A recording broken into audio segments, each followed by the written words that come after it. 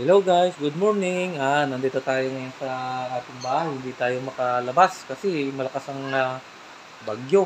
May bagyo kasi dito sa amin sa Cavite. Ayan, baka sa inyo may bagyo rin. Ayan, nagpapagawa kasi tayo ng grahe eh hindi matapos-tapos. Kasi gawa ng ulan na yan. Ayan oh, dapat flooring na guys yan. Kasi guys yung ating ah, sasakyan nakahambalang lang. Ayan yan. Ayan, four wheels na yan. Saka yung mga tricycle na yan.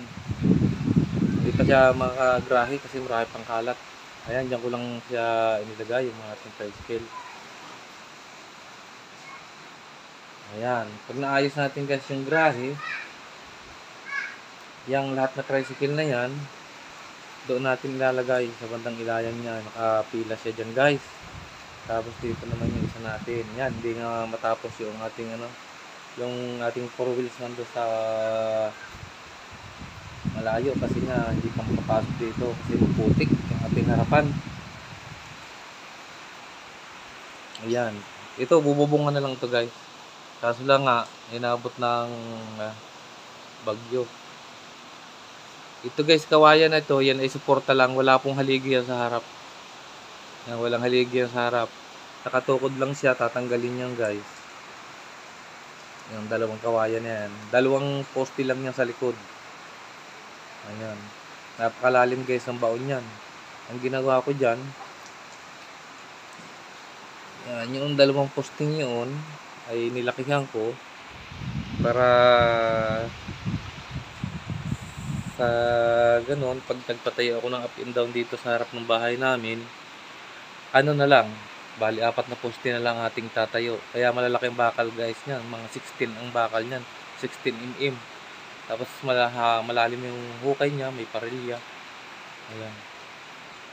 Kasi temporary lang naman tong ating grahing ito. Kasi pagka nga tayo nagkapira, and down natin to, buong ito ang ilalim may grahe. Ayan. Grahe ang ilalim niyan guys. Open yung harap na yan. Malakas guys ang bagyo rito sa amin. Kaya, kaya ako yung may trapal dito sa terrace.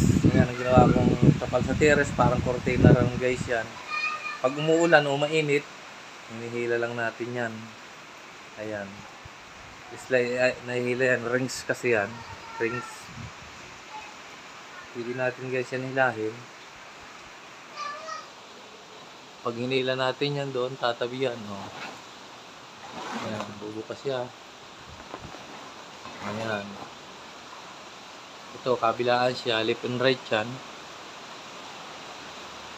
Ayan. Ah, maiba iba namang ano, yan yung tinahi natin. Mga ibang forma naman. Kasi dati, yung iba, mga nakarolyo lang. So guys, malakas ang hangin. Yan, gaya ng motor kong ito. Talagang ito ay kaunanahan kong motor.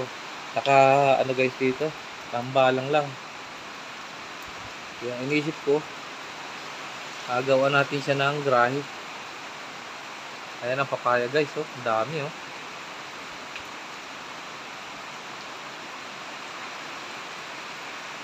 Kawawa ang ating motor nasa ulanan. Ayan. Buti itong aking isang to safety. Ayan, oh.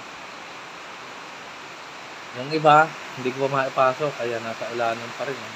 Ayan pa, yung four wheels natin, oh. Hindi pa rin makapasok sa grahe natin guys. Ayan yung mga ano natin, mga tubig ng ating uh, nagtatrabaho. Lakas guys ang ulan dito. Ayan, napakalamig dito sa amin sa Cavite. Ayan.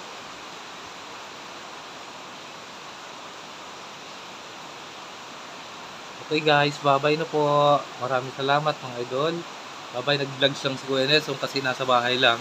Hindi siya makalabas. Okay, bye-bye po.